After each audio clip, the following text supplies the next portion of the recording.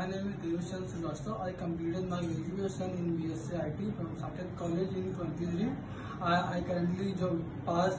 I currently get a job from by the JSpider.